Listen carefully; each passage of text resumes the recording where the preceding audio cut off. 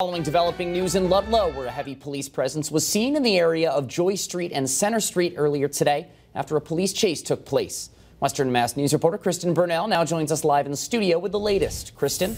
Matt, police were on scene when we arrived around 3.30 p.m. and then cleared the area about an hour later. Ludlow police just confirmed to us that a hit-and-run accident happened in the area of Joy Street and Center Street this afternoon.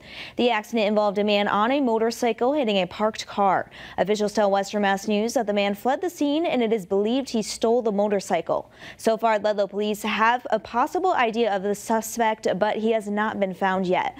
Police also tell us that a neighbor came outside as officers officers arrived, he was unruly and disorderly with police, leading to his arrest on scene for interfering with the investigation.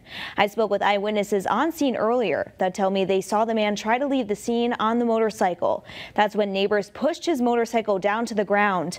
After that, the suspect fled the scene on foot. Canine dogs were also brought in to assist with the chase. This is an ongoing investigation, and we will bring you the latest updates both on air and on online. For now, live in studio, Kristen Kristen Burnell, Western Mass News.